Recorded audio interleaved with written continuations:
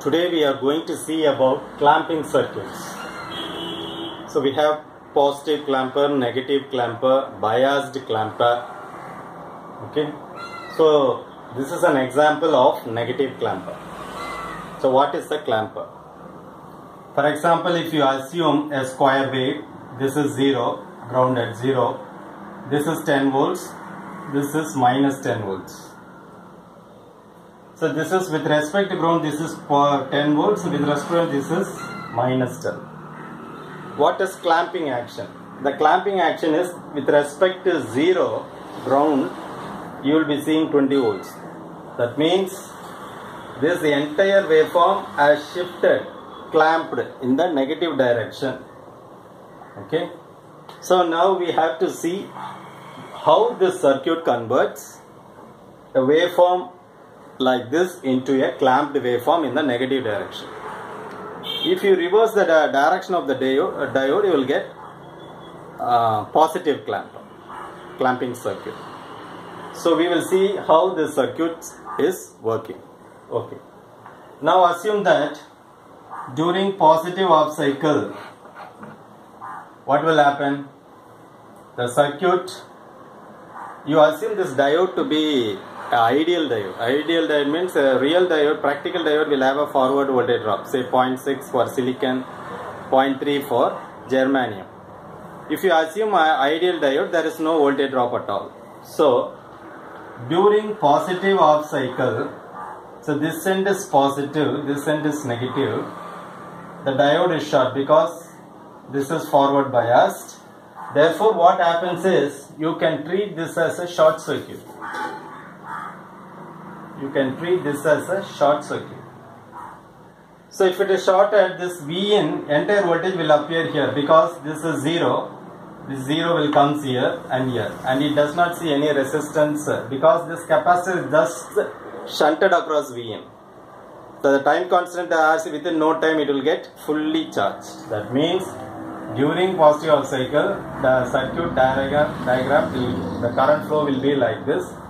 So this will be plus and this will be minus and it is charged with whatever voltage you have. Suppose if you give plus 10 volts this will be 10, 10 volts with this polarity.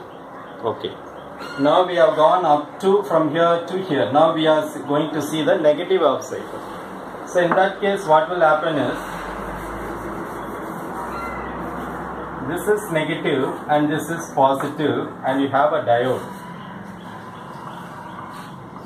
We have to check the behavior of the diode during negative half cycle. Now you carefully see plus minus plus minus that means these two can be viewed as negative positive negative positive. This is 10 volts this is 10 volts. So this is polarity plus minus that means two cells. This is 10 volts, this is 10 volts. This end is this. So this negative is connected to this diode, of course through the resistor also. Now this diode is reverse biased.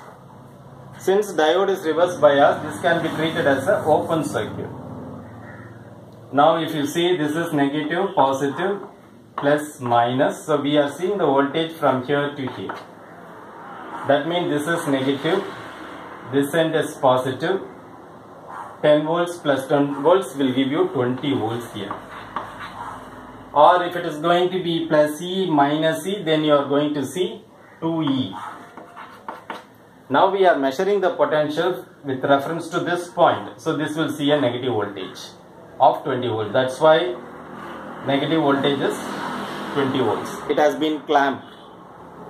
That's the working. Once again, next half cycle will come. The diode is short circuited and the capacitor is charged fully. Once again, negative half cycle will come. Both the voltages gets added up. So with respect to ground, you will see a negative voltage. Okay. This is the basic working principle of a clamper circuit. This is a negative clamper. If you reverse the direction of the diode, you will be getting this waveform in the positive direction. One important uh, note is when you do practically in the lab, at the input you have three options. The input side positive, then you have ground and then you have minus. That is one is AC. Sorry, one is AC, another one is DC, and the next one is uh, ground. So what you have to do is, if you want to see the ideal waveform at the input and output, you put this knob in DC. This knob should be in DC. You must select DC, not AC. Then only you can see the clamped waveform.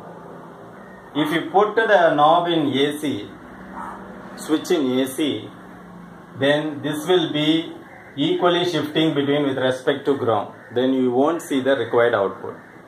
So what I suggest is, whether you are measuring input or output, put in DC. So that gives you the ideal wave nature at input and output. This is ground. If you connect this to ground, the output will be 0. So when you want to measure, you always choose DC. This knob should be in G because it will have three options. One is ground, other one is AC and other one is DC. You always make for DC. That will give you the required output you can see.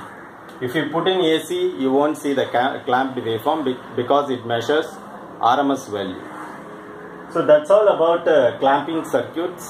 I have dealt uh, negative clamper and I told you to get positive clamping you, you have to change the direction of the diode. Thanks for watching. Nandri.